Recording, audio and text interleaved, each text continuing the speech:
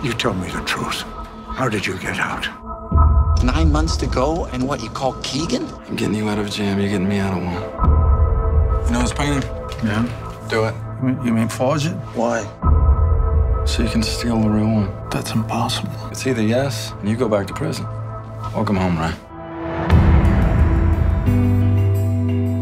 Where is he? Upstairs. Dad, how'd you get out? Four years we've been here, and we're doing fine. And then you come catapulting out of prison. I need a little time with my son. Time? It's something you don't got. Yeah, I told you. I'd break his neck if he came near my son. So far, your boy has violated his parole license.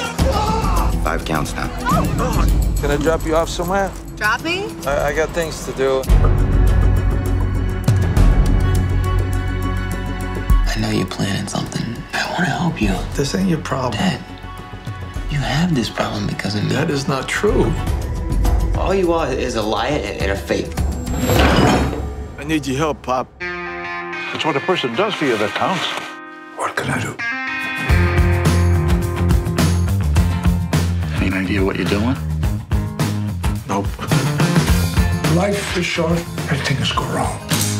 May we always have enough. We're. You got three minutes. Now. What the f? That day is gonna come. That day is gonna come. You know I can feel it. That day is gonna come. That day is gonna come. Nothing can stop me. That day is gonna come.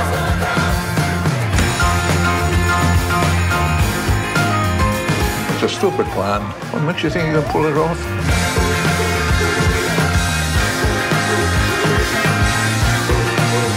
Trust me.